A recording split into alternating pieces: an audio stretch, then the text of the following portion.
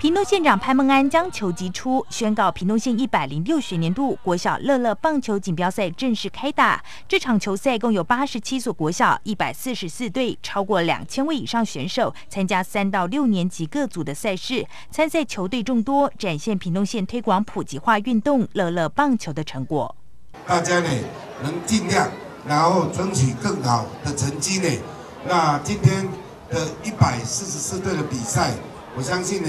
这几天的比赛会为大家带来更多，在互相分享这个练习的过程里面，都可以得到更好的成绩。所以在这边呢，也特别来跟我们的同学共勉。潘孟安表示，屏东县体育发展中心和乐乐棒球委员会及棒球委员会长期支持及推广乐乐棒球运动赛事，已经进入第九届，带动校园乐乐棒球运动的风气。加上乐乐棒球安全、有趣又容易上手，让孩子能一圆心中的棒球梦，快乐地奔驰在球场上。我我喜欢打打球。希望以后可以，希望以后可以继续打，继续打棒球，打上大联盟。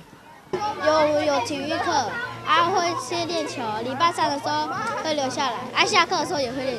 嗯，因为比较好动，然后我又喜欢动，所以就可以跑来跑去，然后接球、打击之类的，然后可以就是看场上的状况怎么去适应，练习那个。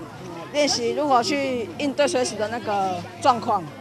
为鼓励校长能亲自带队来参赛，以激励士气，凡由校长亲自领军的参赛学校，可获赠球具一套。乐乐棒球锦标赛四月十二日至四月十四日，一连三天在林路运动公园举行。县府期待借由乐乐棒球比赛，推广这项着重趣味和安全的运动，进一步让棒球运动向下扎根。平头新闻张如意、魏德伟采访报道。